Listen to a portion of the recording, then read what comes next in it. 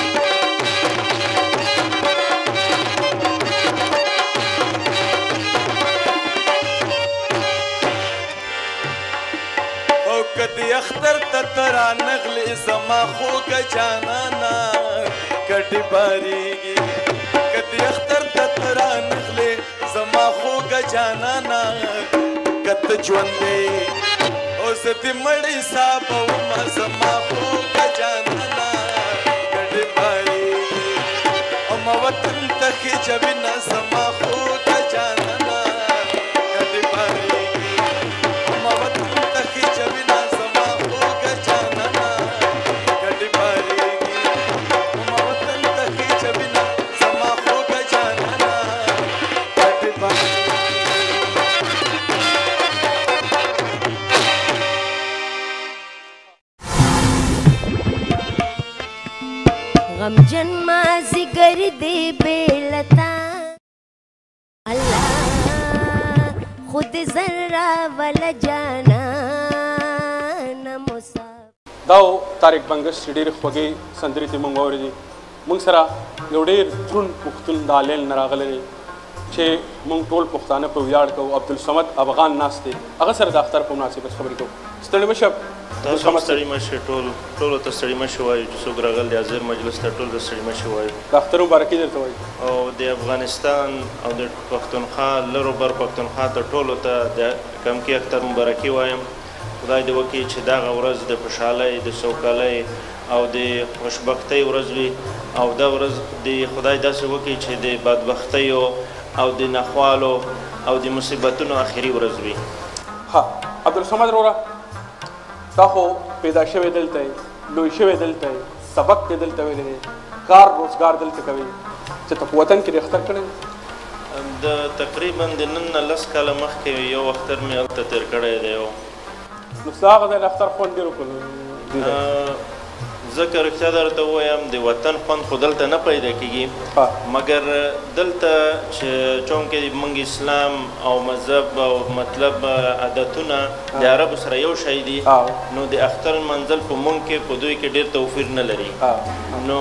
په دې وجه د اروپا او د امریکا سره چې کوم مسافر هلته دي هغه نه د مونږ بخت ښه دی مونږ دلته ښه اختر تیروو خو تا خو چې دلته کې په اختر کې پیلوټ یې لول هم نه تنې پټال به دې هم نه ځانګړي یو لوبې به دې هم نه کړي د اختر په د هغه ملي غولته مونږ لیدلې دي خو دلته دغه کارونه نشته چې یو ورونه بل کې ورګن ورته وای نورج چې هغه دلته نشته ستا په شان د پښتنو نه خدا تمه لرلی شو چې په آینده کې داسې د اختر په مناسبت داسې میلې هم دلته را جوړې کړي چې ټول پښتانه ورته ځي او هغه خوندونه ترې والي خوشبختانه چې دلته موږ خپله د افغانانو ټولنه ده په هغې په دې ټولنه کې موږ د اختر په ورځ په اوله ورځ موږ ته خلک راځي او په دویمه ورځ مونږ د خلکو پوښتنه کوو، په دریمه ورځ د اختر مونږ محفل جوړوو، ټول سره راجمع کیږو،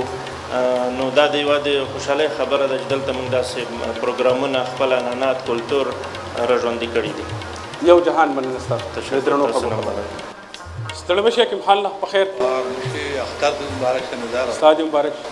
د ټولو پښتنو دې مبارک شي. ما خو وختي دعا وکړه چې د اختر یو کې الله چې رضان سره من راوړي دا او بر پښتنو ته اختر د ټول مبارک شي ته چې کوم ناس من مان راغلي دې ته د اختر مبارک قبول او تاسو ډېر یو جهان مننه چې تاسو موږ دلته د اختر په مناسبت راغون کو د اختر د مبارک یو ځای هم مانځله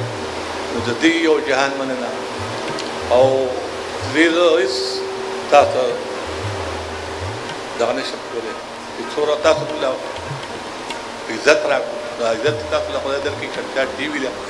او خدای دې لر او بر پښتنو له د ورورولۍ او د عزیزولۍ او لاس ورکړي چې خدای پاک د دې نه را مصیبت او تکلیفونه ختم کړي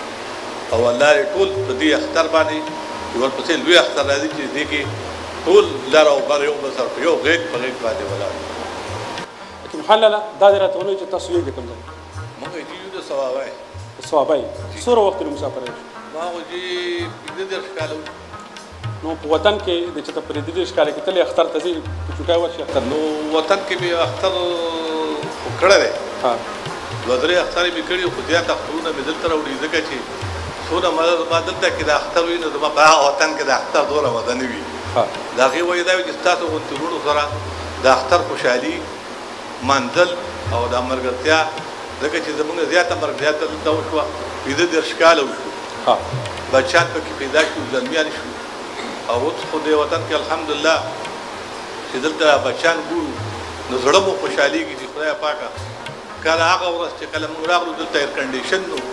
نن په دې وطن کې ایر کنډیشن هم شته په دې وطن کې زموږ بچیانو سبق هم ووایي هغه وخت کې بلې پښتون بچی په کوڅه یې نه کتو نن چې کوم ځای ته بینک ته ولاړ شي نو پښتون بچی په کوڅه ناست زړه مې دومره غټ شي قسم په خدای چې خوشحال شم چې خدای هغه ورځ وه چې راغلی دی وطن کې به ګرځېدی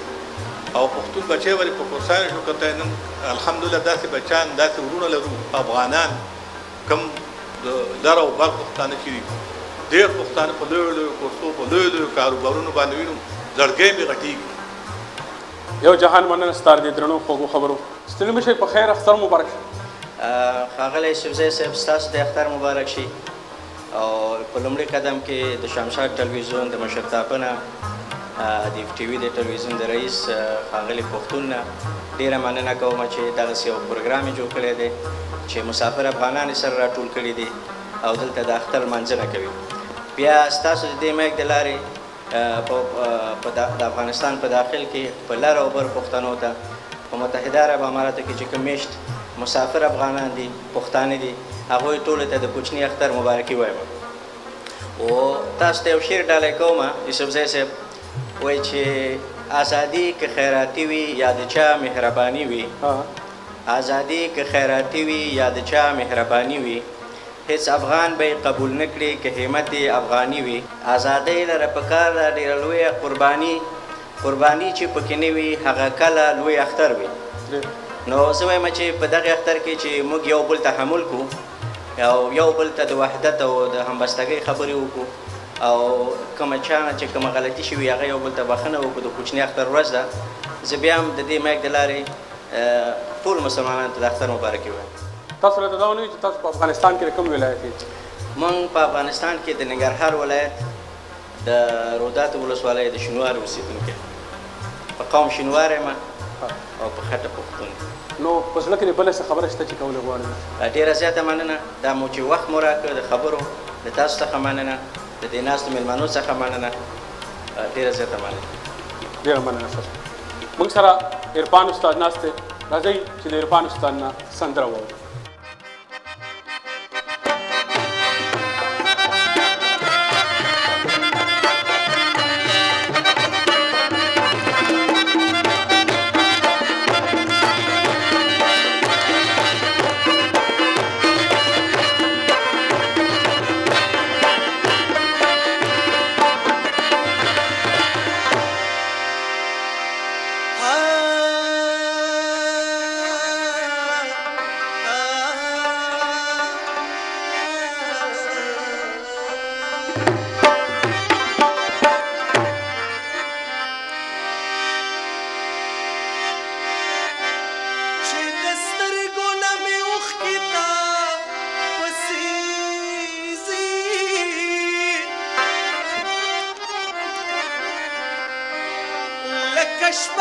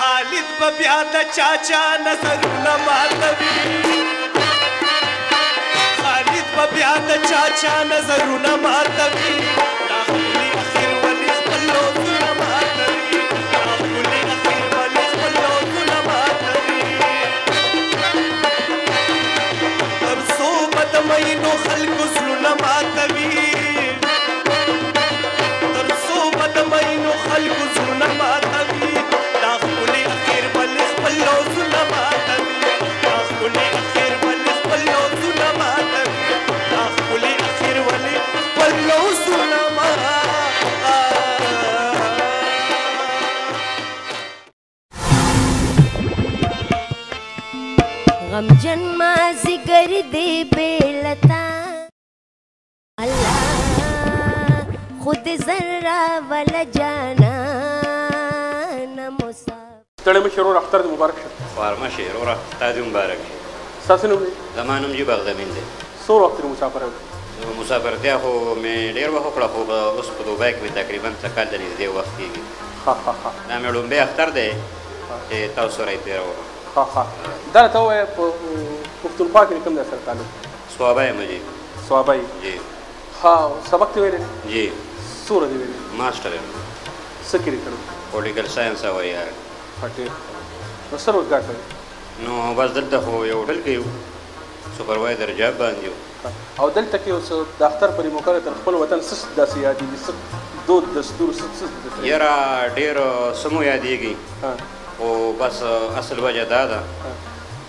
چې تاسو داسې یو محفل جوړ کړی دی چې هغې سره زموږ نه ډېر څه جوړ شوي دي او بل داسې کار دی چې خپل کلی خپل وي او پردیس خو پردیس وي په هر حال زه دلته د ناست مېلمانو مشرانو کشرانو او زموږ چې کوم نور داسې د ټلویزیون کتو واله وي یا د هغې نه نور ماورېدو واله وي څوک وي هغه ته د اختر مبارکي ورکوم چې داسې یو ښایسته میاشت تېره شوه او دا زموږ لپاره ډېره د فخر او د باعث او د رحمت یو میاشت وه. ستا یو جهان مننه درې درنو خوږو خبرو د لر او بر پښتانه یو دي یو وو او یو به هي د بیلتون کرښې د پښتنو در دامنځه دا تاریخي تړون دا نشي بیلولی نو ستا درنو خوږو خبرو یو جهان مننه موږ سره نور هم ډیر درانه خواږه ملګري ناست دي د پښتو ژبې یو ډېر خوږ ژبه شاعر ښاغلی خالد خان اسرت صیب مونږ سره ناست دی او د اختر په مناسبت باندې هغه یو ډېر ښکلی نظم لیکلی دی نو زه هغه ته خواست کوم خو د هغې نه مخکې د هغه د غزل یو څو شعرونه دي چې ستوري د اسمان ګوته په خوله ورته حیران ټول ستوري د اسمان ګوته په خوله ورته حیرانو ټول داسې د یادونو پښتنو راسره وجړل او دا مې بې وسي وه چې یو ته مې په جړا نه کړې دا مې بې وسي وه چې یو ته مې په جړا نه کړې نور خو ستا د چم لوی وړو را سره وجړل او چا چې به زما او ستا په منځ کې غمازي کړله چا چې به زما او ستا په منځ کې غمازي کړله نن بې وفا یاره هم هغو را سره وجړل خالصرت صاحب د اختر مبارک شه ډېره مننه نظار یوسفزي صاحب ستاسو د ټول یو جهان مننه دا څومره دلته میلمانه راغلي دي او ستاسو د تلویزیون د ځلند هندارې په مخ باندې د نړۍ په ګډ ګډ کې مېشته ټولو پښتنو وروڼو ته د اختر مبارکۍ وړاندې کوم تا خو مې ډېره اوږده مسافري تېره کړه د وطن اختر درته یادېږي خپل وړوکوالی مېلې ټېلې بڼ چغو به وو ټالونه به وو. نظار یوسفزي صاحب په شاعر کې او په عام ولس کې دغه یو فرق دی چې د شاعر ځان د کلي د اختر نه تروړلی نه دی، دی همېشه په هر اختر کې کلي کې ولې چې د شاعر ذهن چې دی د ولس نماینده دی نو زما په خپل وطن کې کوم ولس چې دی هغه زما نه هېر نه وي او زه همېشه که په دې وطن کې یم خو اختر د کلی کو هغه خیالونه دي هغه مینه ده هغه مرګري زړه دی الته زړه مې الته بدني تور سره پوه سره بدني تور سره حتی یو ډېر خوندور کلام لیکنو کاغه دې موږ مرګو نظر سه ما تاسو د پروګرام په تاثر کې د اختر په حواله باندې یو نظم لیکل دی خدای دې ګستاس خوښ شي وې زما د لری وطن یارا ستا په خیال کې بوي زما د لري وطن یاره ستا په خیال کې به وي چې خوشحالۍ به وي وطن کې د اختر ورځ ده هر چا به ځان د خپلې خپلې تیارۍ کړي وي نوې جامې خو به پخوا وي جوړې کړې خلکو د پیزارونو په دوکان به نمبر نشي موندی خپل که پردي دي ټول به یو بل نه ځارېږي سره لارې کوڅې به خنداګانو نه په بله اوړي زما د لري وطن یاره ستا په خیال کې به وي چې هلکان به ډلې ډلې دوکانونو ته ځي چې د اختر شپې له په ګډه سامانونه واخلي جینکۍ هم به په خپل کور کې سلاګانې کوي د چا کوټه باندې به دا ځل الله وایي د ماشومانو د سیالۍ تنده به ماته نه وي، د مور او پلار نه به وړې وړې غوښتنې کوي. زما د لرې وطن یاره ستا په خیال کې به وي چې زانګوګانې به راغلې وي د بڼ ډاګیله د بڼ په ونو کې اوږد اوږد ټالونه به وي ځوانانو ونې به پرې کړې وي باڼچغ د پاره چې اوازونه به یې د کلي هاغه سر ته رسي واړه به ځان له کډې اخلي د اختر په پیسو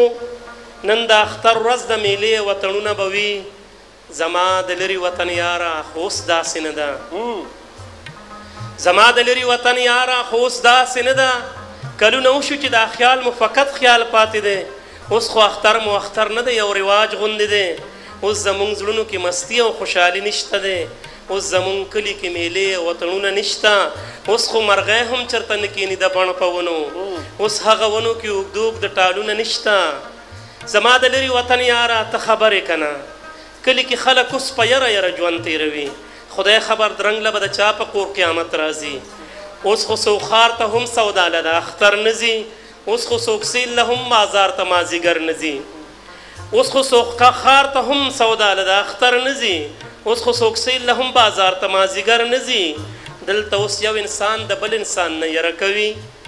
زموږ حالاتو موږ په یو بل نا اعتباره کړلو. زما د لرې وطن یاره تا ته څه پته ده، اوس چې څوک نوم د اختر واخلي زړه مې وبوږنېږي، ماته بمونو کې نوستلي ماشومان یاد شي،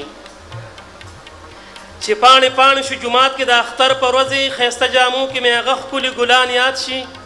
دلته اوس خلک د اختر مونځ هم په یره کوي هسې نه دا ځل هم جومات کې چېرته بم خلاص شي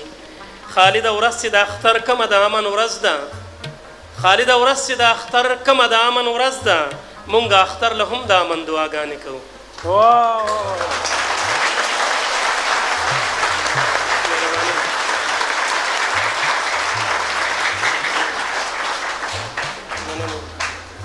علي صاحب په زړه کې هم بله څه خبره وي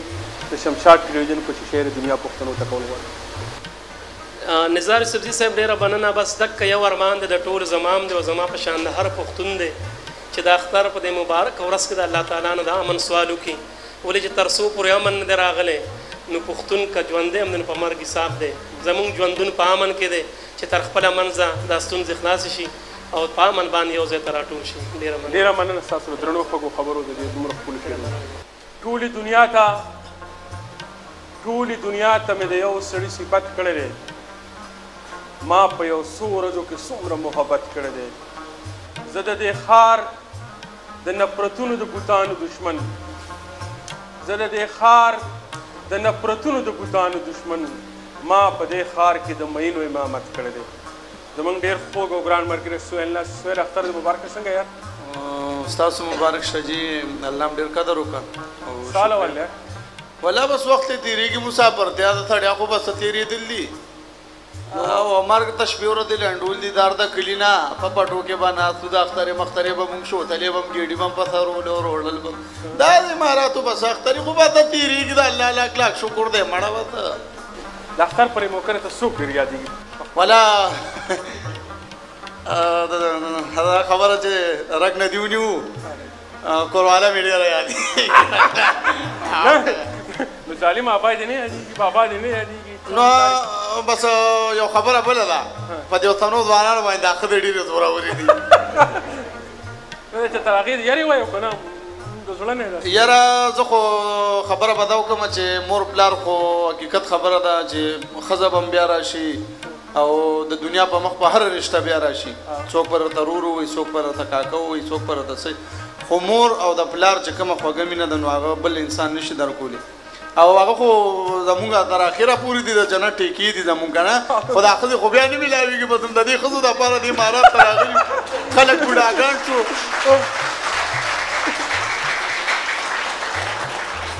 دا په دې اختر کې خو به تا وایي ډېر واني کول نیکه به درپسې ډانګوره راغستو یو کار بل وکړه نو پخوا به داسې کار وشو چې چرته ماما کره به لاړو نیکه کره به لاړو نو ډېر به خوشحالېدو دا یو پخوانی واسکټ به یې اچولی او د تیلې ټوپۍ به یې په دې ځېښلې وه که نه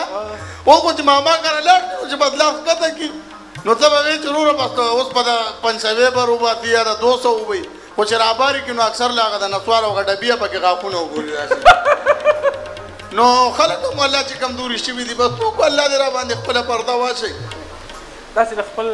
کلي د اختر څه خبره در راسي یادېږي چې ډېره دې په زړه په دې مسافرۍ په دې اختر ولا دا خپل کلي خو بس میلې او ټېلې هم ډېرې یادېږي نه کوه الله چې ډېر مزه چې به خوند به اکثر له به هم پکې لا چې مېلو له بدلو د کلینډرانو ډریورانو سره هم پکې جګړې مو کې په چت په خدو ویل مخې چې ټریفک والا پرچه راکوي که نه نو اکثر له به په دغه چتونو متونو دا لانجې کونجې به وي په پېښور کې زیاته خلک دا کوي چې دغه جنګوي که نه هغه انډې پکې جنګوي رواج هم شته نو بس دا جیبونه د ترخ به هم ډک کړي ونه که دا جیبه ماته وایي والله خو ډېر بره حالت دی او په متابرتیا کې خو مړه زه یم چې الله دې د هر متابر ثواب وکړي چې وس خپل وطن ته د مړه دلته هم څه اختري وسم ته به راوځي چې خوا کې وګوري بنګالي به سره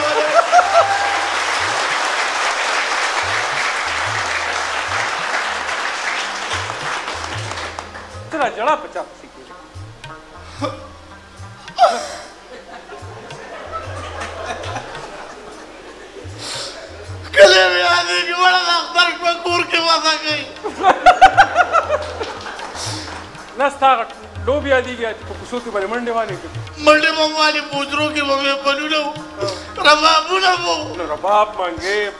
مړه نو دلته مزه نه کوي کنه د کلي هغه کچه کوټې دي چې هغې کې غرب ورکي په او خورم درباندې راپروت دي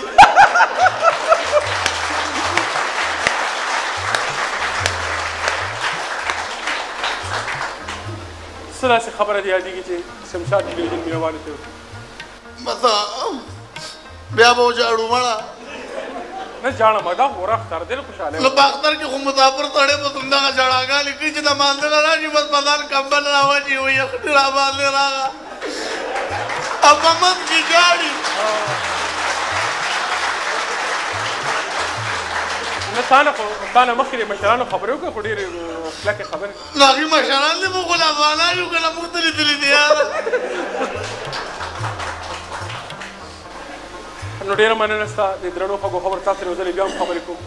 ته خپل یاداش را تازه کړه او کو بل کې داسې خبرې چې کولې غواړم زه با د وېم اکټینګ په خپل ځای خو دا څومره چې ما وګوري زمونږ د شمشاد ټلویزیون نه مخه زه ټولو خپلو مینوالو ته او خپلو ګرانو پښتنو قدرمن چې د لر دي او که د بر دي زه ټولو پښتنو ته د زړه د کومې اختر مبارکۍ وایم او انشاالله چې راتلونکي وخت کې به موږ تاسو ته ښه ښه ایټمونه ښه ښه پروګرامونه به موږ تاسو ته وړاندې کوو نو چې ستاسو تعاون انشاالله موږ سره وي نو موږ به تاسو سره د دې نه ښه ښه پروګرامونه ښه ښه ایټمونه به موږ تاسو ته مخکې کوو او زما د مخه ټولو پښتنو وروڼو ته که په امارات کې دي که هغه په امریکا کې دي که هغه د دنیا په ګوټ ګوټ کې دي نو زما ټولو ته اختر مبارک شه خو کلي کې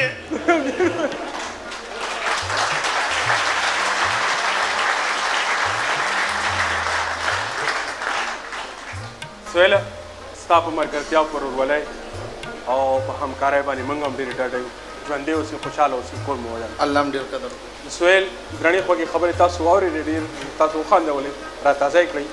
موږ سره یو بل رور ناست دی ستړی مه شئ رور اختر دې مبارک اوسئ ستاسې هم چلند او د نړۍ په هر ګوټ کې چې څومره میش افغانان دي پښتانه دي مسلمه طبقه ده د زړه له کومې ورته د اختر مبارکي وایم ستاسو نوم مننه په سر کې د شمشاد نړیوال تلویزیون د ټولو قدرمنو لیدونکو اوریدونکو نه کارکونکو نه له تاسو نه مننه کوم اصف عبدالزی هم د ننګرهار نړیوال تلویزیون د خپرونو پروډیوسر او د احاد ټولنې مرستیال ډېر ښه ستا راتګ د ځان لپاره او دلته کې دا ناسته ډېره د درناوي او ډېر د اعزاز خبره ده تاسو هم نه مننه کوم واقعا لکه څرنګه چې شمشاد تلویزیون نه هېرېدونکې هڅې ګورو د ملي یووالي لپاره، سولې لپاره، پیشرفت لپاره او خاص کر د پښتنو لپاره چې نن د اختر دغه شپې ورځې دي او ټول پښتانه سره په یو ټغر راټول کړي دي، له تاسې ټولو مننه کوو، خاص کر ستاسې مشرتابه نه او له تاسې. څنګه زمونږ دا غونډه مونږ خو پکې لر او بر تورن د هرې ولسوالۍ، د هر ولایت څوک نه څوک پکې خامخا شته مونږ کوشش هم دا عبدالصمد رو د ټولو سره همدا خبره کړې وه داسې یو غونډه به کوو چې لر بر افغان وطن هر وګړی ورته راوبلي مننه واقعا نن دومره د خوښۍ احساس کوم چې زه په خپل شته لباس کې نه ځایږم هغه مشران هغه همزولي کشران تر دا ماله پکې نه ترسره کیږي دا ټول تاسو د شمشاد ټلویزیون افتکار دی ستاسو هلې ځلې دي د ستاسو نه وخت دی ستاسو هغه همکاري ده کوم مو چې افغانانو سره کړې، کوم مو د پښتنو سره کړې او نن مو سره په يو ټلويزيون په يو ټغر راټول کړي او د يو ټلويزيون نه يې د دو خپرونې نشرېږي، له زړه د کومي له تاسې ټولو مننه کوم او په نړۍ کې ګرد افغانانو ته، پښتنو ته، مسلمه طبقه ته د زړه له کومي د کمکي اختر مبارکي وايم. ډېره مننه ستاسو. زه غواړم چې يو څو د اختر موقع ده. یو څو رنګین شعرونه راڅخلي چې دا تاسو ته منظمه کړي په رواجونو کې ایثاره جنای په رواجونو کې ایثاره جنای مینې ته نه ده لا اوزګاره جنای او ته مازیګر د کوره مه راوځه ته مازیګر د کوره مه راوځه چې خلک نه وځي د کاره جنای او یارې په کت کامت کې دنګ دی که څو یارې په کت کامت کې دنګ دی که څو سل تاویږي د چینار جنای او په پنجو ګرځي په نکونو ګرځي په پنجو ګرځي په نکونو ګرځي زمونږ د کلي تاڼېداره جنۍ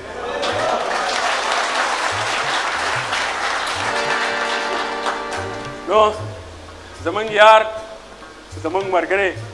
په دې نننۍ خپرونه کې موږ سره ډېره ستړې کړې ده او زمونږ ډېر د مینې ډک یار دی سرکار ناست سرکار اختر دې مبارک شه یار دی دې وبخښه جي ستاسو دې مبارک شي ستا ډېره مننه په دې نننۍ خپرونه را جوړولو کښې موږ سره ډېره ستړې کړې ده تا او ستا ملګرو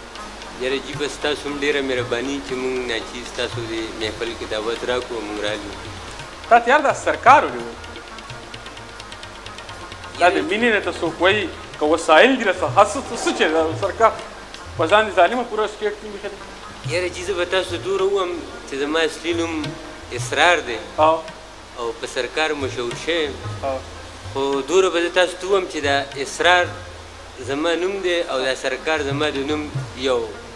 سوری دی.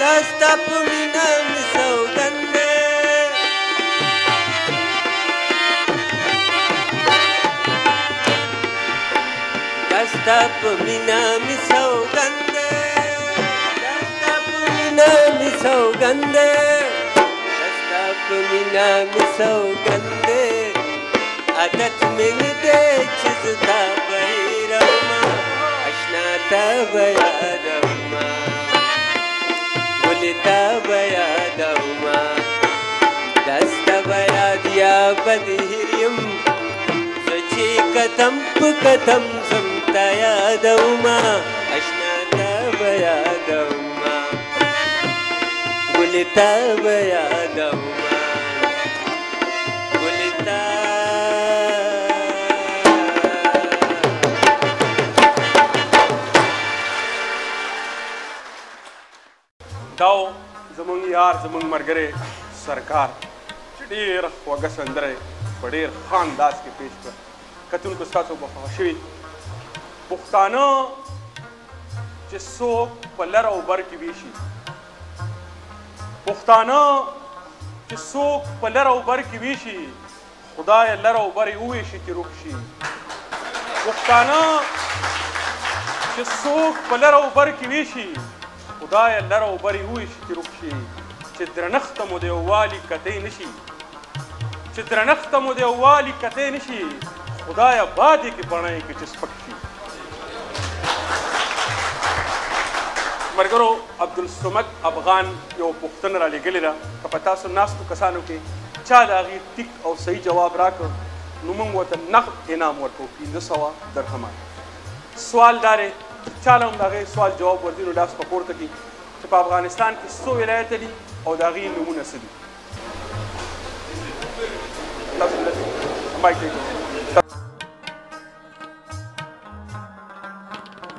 ستړی مه شې ورور پخیر ډېره مننه تاسې ته او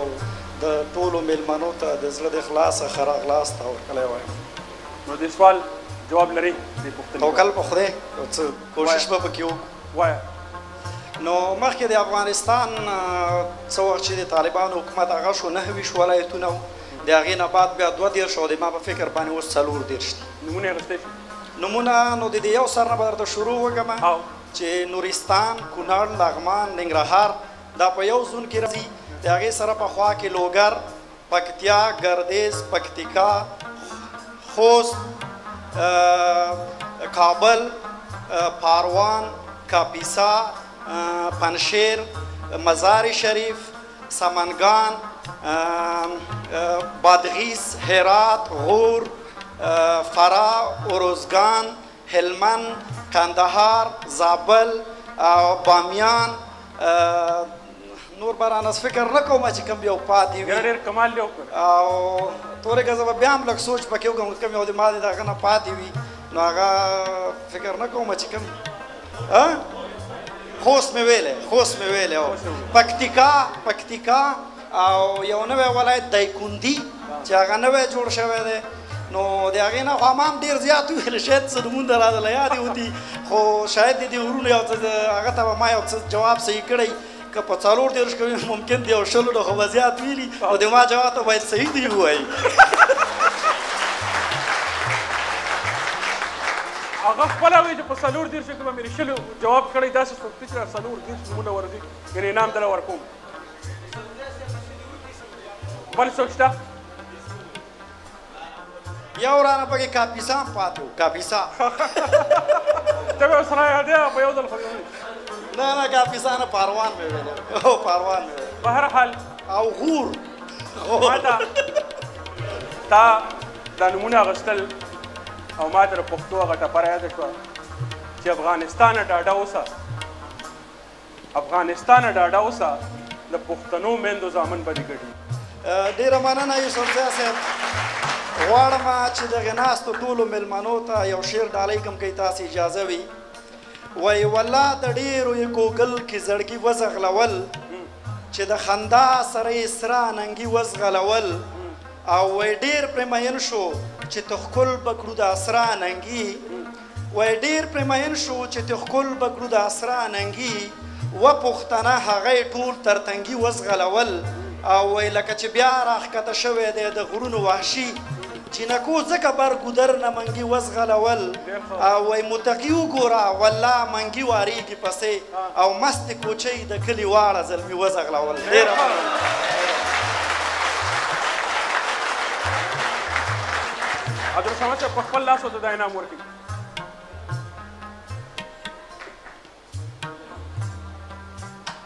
ټول ورته ښه چړچکې ورته وکړئ.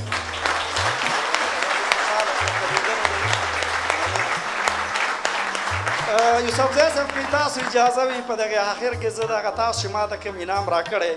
دا د ما په سر سترګو قبول ده وایي برګ سبز تو بې دروېش زه دغه پیسې بیرته د خپلې خوا نه د شمشاد نړیوال تلویزیون ته انعام ورکړم.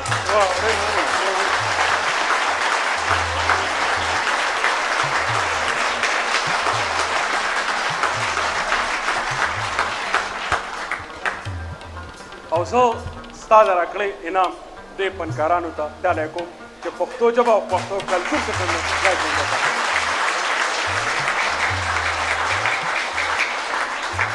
او تا ته د پښتو یو نوې ټپره زموږ یو ملګري جوړه کړې ده هغه ډالۍ کوم چې د جانان یاد اسلام آباد دی د جانان یاد اسلام آباد دی زما د زړه کابل قرار څه نه پرېږدي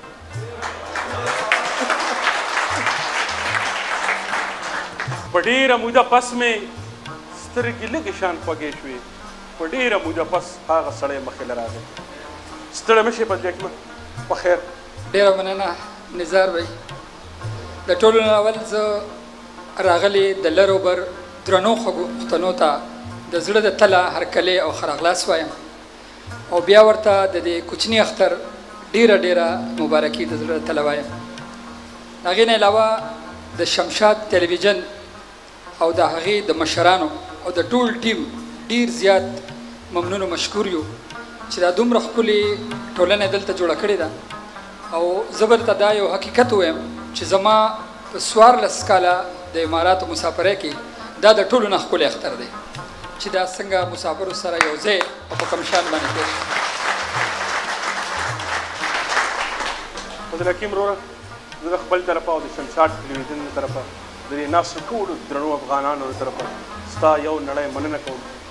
سیداد نننۍ غونډه دې راجوړه کړه تا پکې ډېر ځان ستړی کړی ډېرې منډې تړې دي موږ سره کړې دي ستا په ورورولۍ او په مرګرتیا موږ مې کړې ډاډه یو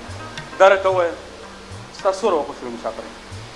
او نظار بھائی څنګه چې ما تېره کړه څوارلس کاله مسافري مې وکړه او لګیا یو له ګورو چې تر کومې پورې کولی شو نو د خپل وطن درته یادېږي مور پلار نو خویندې تاسو به کور والے دلته لري نو د مسافرۍ دغه احساس خو به هغه څه تریخ نه لکه موږ ته څنګه دي نظر به دا یو حقیقت دی څنګه چې زما یو محکم یو ورور وي چې په دې زمونږ خپل خوره چې کومه ده زمونږ کومې لوټي لوټي کلی چې کوم دي زمونږ غپولې چې کومې دي هغه مونږ په ډېرو لوی لوی ښارونو او په بنګلو باندې چا سره نه بدلو او چته هم هغه اختر او هغه مزې هغه دلته کې نشي پیدا کېدی نو اختر خو د کلی اختر وي خو بیا هم د شمشاد ټلویزیون په ځلنده هنداره زه د لر او بر ټولو پښتنو ته بلکې چې څوک هم مسلمانان د پروګرام ګوري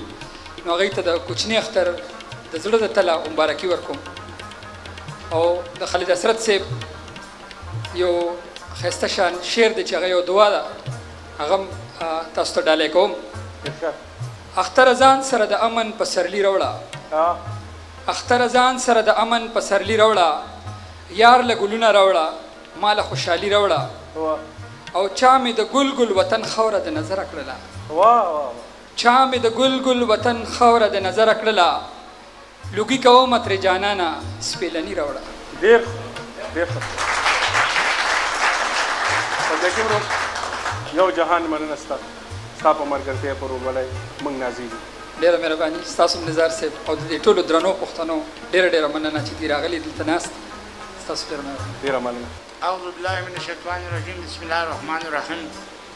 ډیره مننه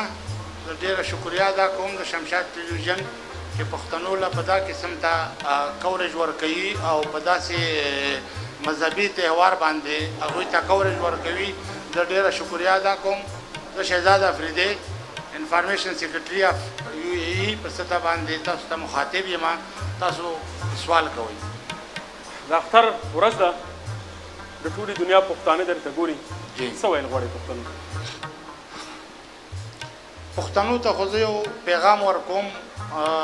که تاسو سوال کوئ د موسیقۍ په حواله یا د موسیقۍ په ستا ستا پړه کې څه سیږي بسوه زه دا ویل غواړم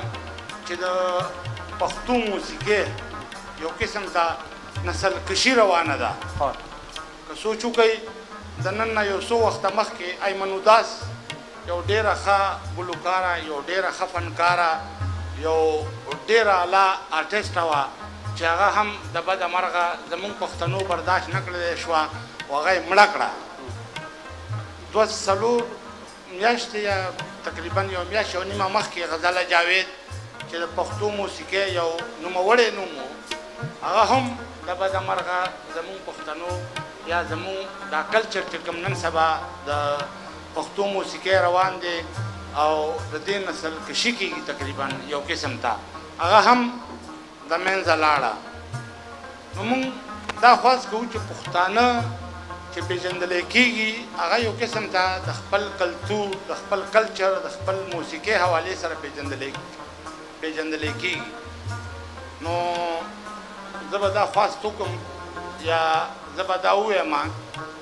چې کم از کم موږ د خپل کلچر د خپل کلتور دومره خیال وساتو چې دا د دې نه زموږ پهچان دی. مشره ډاډه اوسه که دغه فنکاران مې پښتنو په خپل زړه کې ځای کړي دي، پښتنو ور ډېر لوی مقام ورکړی دی، دا پښتنو نه دي وژلي، دا د پښتو او د پښتنو دښمنان چې کوم دي زموږ د وطن، زموږ د خاورې، خو زموږ مشرانو، زموږ پلارانو پنځه زره کاله د دغه خلکو مقابله کړې ده. هم دا وطن ساتلی دی هم دا ژبه ساتلی ده هم به دا پښتو وي هم به دا وطن وي ډاډه اوسه که ان شاء الله ان شاء الله مونږ دا هیله لرو د پښتنو نه چې دا پښتون کلچر دا پښتون کلتور به چې د څومره وخت نه را روان دی دومره وخت نه بعد به هم دا وي ان شاء الله ډیره مننه ستاره دې درنو خوږو خبرو